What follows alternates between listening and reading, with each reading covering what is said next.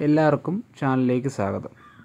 നമ്മളിന്ന് ഡിസ്കസ് ചെയ്യുന്നത് history of Kerala അതിന്റെ പ്രീ ഹിസ്റ്റോറിക് പീരീഡിൽ കേരളി അയണേജിലെ സൊസൈറ്റി എന്ന ഭാഗം നമുക്കിന്ന് ഡിസ്കസ് ചെയ്യാം.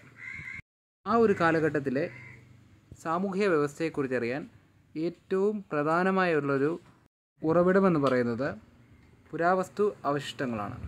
ഇതിൽ ഏറ്റവും ഇമ്പോർട്ടന്റ് ആയിട്ടുള്ളത് ശവസംസ്കാര അവശിഷ്ടങ്ങളാണ്.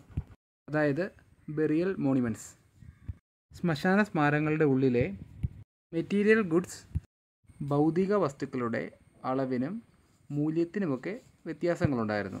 അതുകൊണ്ട് തന്നെ പലരും അനുമാനിച്ചിരുന്നത് ഇവിടെ സാമൂഹിക വർഗീകരണ അടിസ്ഥാനമാക്കിയുള്ള സമൂഹമാണ് ഉള്ളതെന്ന്. ഗ്രേവ്സിലെ മെറ്റീരിയൽ ഗുഡ്സ് എന്ന് പറയുന്നത് അതിൽ വെപ്പൺസും ഓർണമെന്റ്സും പോട്രിയും ഒക്കെ ഉൾപ്പെടും. ഇതിൽ ധാന്യങ്ങളും കണ്ടെത്തിയിട്ടുണ്ട്. ശ്മശാന സ്മാരകങ്ങളിൽ ചിലത് വലിപ്പമേറിയതും പല അറകൾ ഉള്ളതുമായിരുന്നു. വില്യം ലോഗനെ പോലുള്ള ആദ്യകാല ചരിത്രകാരന്മാരുടെ നിഗമനമനുസരിച്ച് ഇതൊരു സാമൂഹ്യ ശ്രേണിയുടെ ഒരു അടയാളമാണ്. വലിയ സ്മാരകങ്ങൾ സമൂഹത്തിലെ മേൽത്തട്ടിലുള്ളവരുടെയും ചെറിയ സ്മാരകങ്ങൾ സാധാരണ ജനങ്ങളുടെയുമായിരുന്നു. എന്നാൽ ആധുനിക കാലത്തെ ഭൂരിഭാഗം പണ്ഡിതന്മാരും പറയുന്നത് ഇതൊരു ആങ്കിഡ് സൊസൈറ്റിയുടെ അടയാളമാണ്. അവർ നേരത്തെ പണ്ഡിതന്മാരുടെ നിഗമനമായിട്ട് യോജിക്കുന്നുമില്ല. എന്നാൽ ഈ അടുത്ത കാലത്തുള്ള പഠനങ്ങൾ ഈ റാങ്ക്ഡ് സൊസൈറ്റിയോ സ്ട്രാറ്റിഫൈഡ് സൊസൈറ്റിയോ ആയിട്ടുള്ള നിഗമനങ്ങളോട് യോജിക്കുന്നില്ല.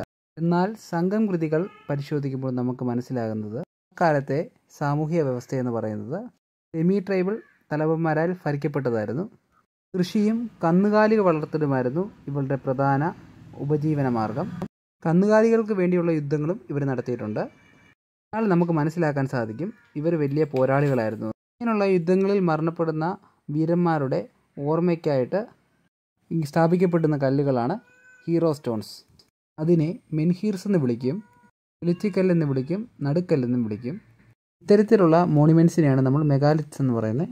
അപ്പോൾ നമുക്കൊരു അനുമാനത്തിൽ എത്തിച്ചേരാൻ പറ്റും അക്കാലത്തെ വലിയ ശ്മശാന സ്മാരകങ്ങളെല്ലാം യുദ്ധവീരന്മാരുടെയും അവരെ ഭരിച്ചിരുന്ന ട്രൈബൽ നേതാക്കളുടെയുമായിരുന്നു എന്ന്. വീഡിയോ കണ്ടു തീർത്തതിന് നന്ദി. അതുപോലെ തന്നെ നിങ്ങൾക്ക് വീഡിയോ ഇഷ്ടപ്പെട്ടിട്ടുണ്ടെങ്കിൽ ലൈക്ക് ചെയ്യുക സബ്സ്ക്രൈബ് ചെയ്യുക. അതുപോലെ തന്നെ നിങ്ങളുടെ വിലയേറിയ അഭിപ്രായങ്ങൾ കമന്റ് ബോക്സിൽ രേഖപ്പെടുത്തുക. അപ്പോൾ മറ്റൊരു വീഡിയോ ആയിട്ട് ഇനിയും കാണാം. താങ്ക്സ്